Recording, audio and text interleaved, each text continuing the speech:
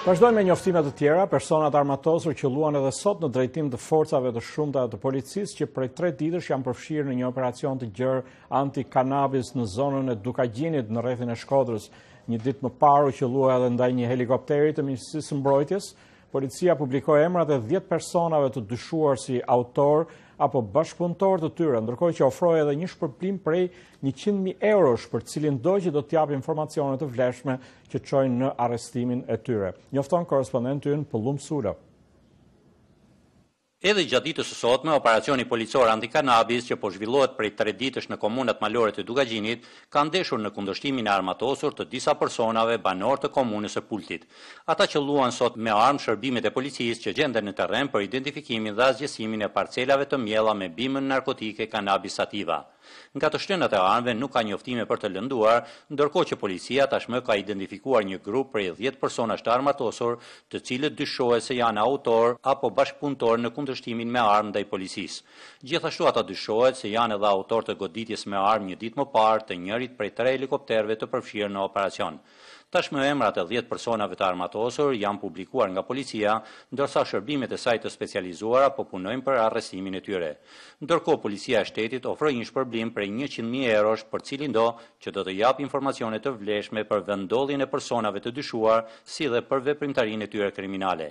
Në orët e pasdrekes, ministri i Brendshëm Saimir Tahiri, i shoqëruar nga drejtori i Përgjithshëm i Policisë së Shtetit, takoi efektivë të Policisë së Ndërhyrjes së Shpejtë në Shkodër. Në një prononcim për mediat, ministri Tahiri u shpreh se pas Lazaratit, operacioni që po zhvillohet në Dukagjin është më i rëndësishmi në luftën anti-kanabis. Ministri Tahiri shprehu gjithashtu vendosmërinë për të çuar përpara drejtësisë personat që iu kundërvunë me armë forcave të Policisë së Shtetit. Mbetet për të parë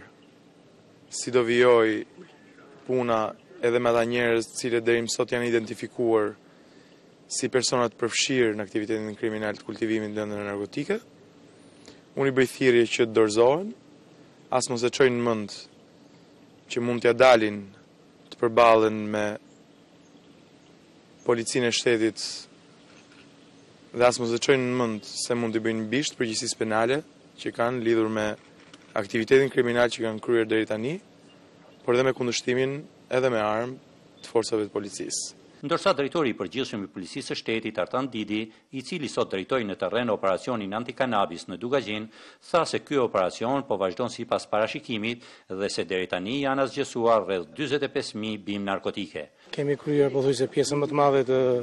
asgjësimit të bimëve narkotike në ato zona që i kemi pasur prioritare dhe që kanë qenë zonat me më tepër kultivim dhe në ditët në vazhdim do të vazhdojmë në zona tjera, në komuna tjera të zonës Dukagjinit, Dhe do të qëndrojmë atje deri në rrënjën e fundit. Për persona të arrestuar nuk kemi ende asnjë, por kemi persona që kemi kemi të dyshuar që kemi filluar procedimin policor dhe në bashkëpunim me prokurorinë mund do të fillojmë dhe procedimin penal. Në terren tashmë janë më shumë se njëqind e gjashtëdhjetë forca policore të mbështetura nga ajri edhe me helikopterë të Ministrisë së Brendshme dhe asaj të Mbrojtjes si dhe nga dy grupe të forcave speciale të RENEA-s. Fillimisht ishte parashikuar që operacioni do të vazhdonte për tre ditë, por drejtori Didi pohoi sot se ai do të vazhdojë deri në asgjësimin e plotë të bimëve narkotike në të katër komunat malore të zonës së Dukagjinit. Për Zërin e Amerikës nga Shkodra,